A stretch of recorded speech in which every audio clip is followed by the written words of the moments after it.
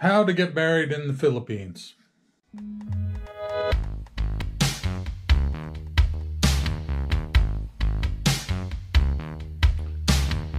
So I'm often asked, how how do you marry a Filipino? Um, what are the documents required and all that kind of stuff. So I think what I'll do is I'll walk you through a few of the steps um, that are necessary in order to get married in the Philippines. Um, of course, uh, I guess it goes without saying that you need to have a a, a, a girlfriend, right, a fiance. But assuming that you do, and um, I'll walk you through uh, what happened in my case. So, as a, a foreigner, you will need to have um, what in the U.S. we call an affidavit in lieu of um, uh, legal capacity to marry, and it's a basically a, a, document from your home country that says that you are free to marry. Um, when I when I did this, I took uh, my divorce papers. Um, I got certified copies from the courthouse uh, in my county here, and I took those with me and had to go appear before a consular officer um, if you're in Cebu, there's a, a, U.S. consulate at the waterfront hotel. So I went there.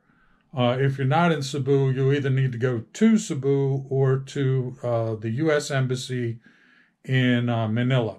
Either either place you can get it. I believe in Manila, you may need to get a um, make an appointment in advance. So uh, check the website of the U.S. Embassy in Manila and verify that that is indeed the case. Okay.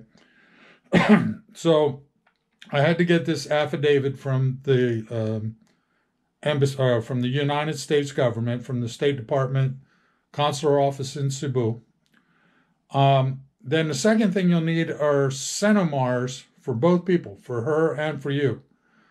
Um, I did this in advance by sending a letter uh, to Vivian and she um, giving her permission to request the CENOMAR um, on for me uh, in advance because it takes about 30 days or so for the Philippine Statistics Office to uh, process that paperwork and come back with the certificate. So that's something you can do in advance.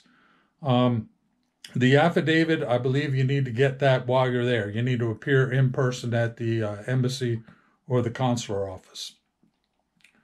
So then, after you have those documents, you need to go to the local municipality. In our case, this was Minglanilla, so we went to Municipal Hall and um, get apply for a marriage license.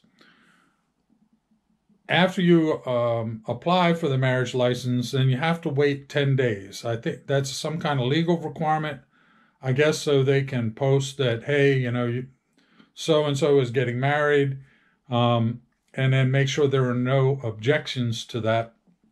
Uh, somebody coming back and say, hey, you know, uh, she was uh, my wife or whatever. Um, so uh, we have to wait 10 days. Now that's 10 business days, so basically two weeks. So if you're planning to go on a two week trip, uh, I would extend it a little bit longer.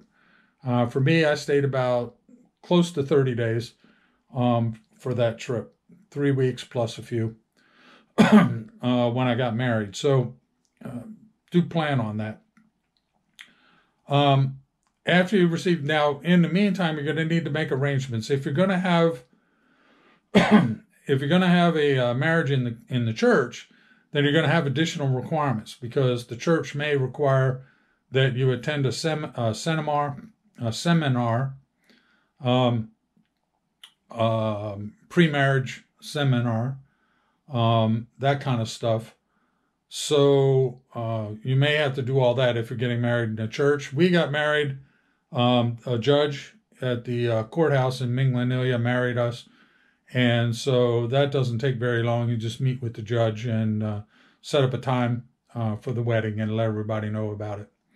Um, Philippine weddings are a big deal. Um, we had a lot of catering and a nice place. Fortunately, uh, Vivian's niece had a nice place, and uh, we set it up there.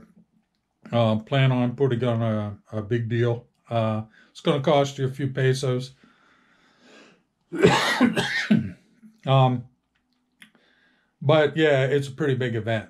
So it's not difficult. It does take time. Everything in the Philippines takes time, to be honest with you. You got to travel to different offices and get different documents and make copies and all kinds of things like that. Um, you may have to uh, grease a few palms along the way also. Um, it's not expensive, but it is uh, time consuming. So, anyway, guys, plan on that. Um, I hope this helps you. Uh, up there somewhere is going to be my ugly mug. Click on it, subscribe to the channel. I'd love to have you join me. Thanks so much for watching, guys. Bye.